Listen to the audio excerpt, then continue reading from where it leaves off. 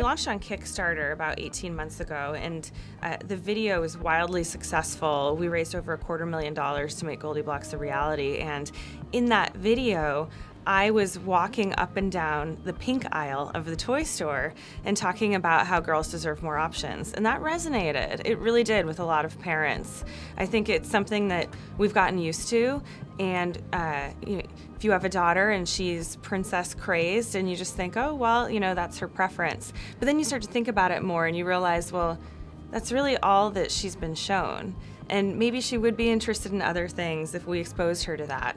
And so it really struck a chord with a lot of parents. There's this famous quote, you can't be what you can't see. And just by virtue of having this girl inventor in her overalls and her tool belt sitting alongside the shelves with, you know, the Barbies and the pop stars out there, it starts to send a message. And uh, I really do think it starts to you know, shift our culture and shift perceptions about what a girl can be. Women make up half of the US workforce, yet in the fields of science, technology, engineering, and math, we only make up 25%. There's a huge gender gap right here in this country, and those fields are the fastest growing jobs. They're the future of our economy, and those jobs are building the world in which we live, and it's incredibly important that we have the female perspective.